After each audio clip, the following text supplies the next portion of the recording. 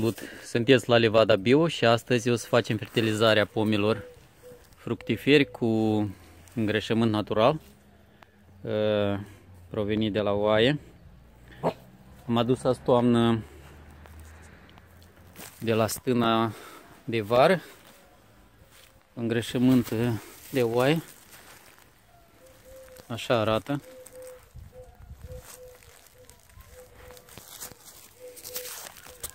Am să descoper ca să vedeți mai bine.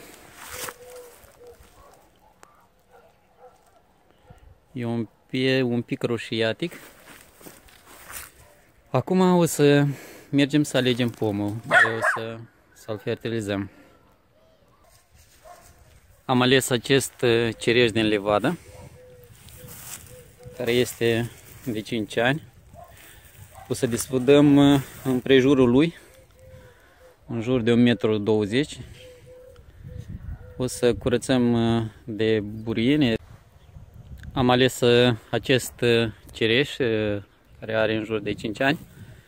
O să-l fertilizăm cu gunoi natural, bio, provenit de la oaie.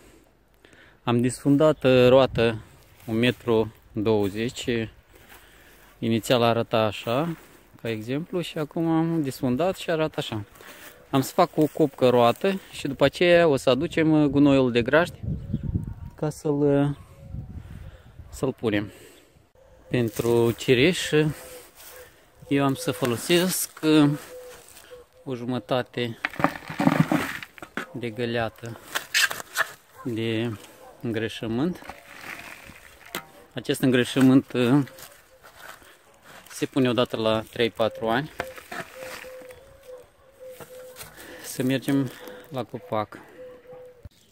Am făcut o mică pauză și vreau să vă arăt acești ghiocei frumoși care au florit uh,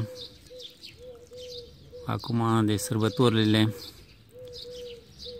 îndrăgostiților. Se vede cum am pus roată îngrășământul Eu am luat îngrășământul de la o stână unde stau oile doar vara și deci mănâncă tot ce găsesc în, pe câmp. E un îngrășământ foarte bun, bio. Avem o livadă bio, ne trebuie îngrășământ bio. Acum o să o să astup o să astup pentru că îngrășământul trebuie să stea la umezeală ca să-și păstreze toate caracteristicile lui. Și copacul nostru o să crească și o să ne producă cereșe gustoase. Vă doresc sănătate și să aveți roadă în livadă.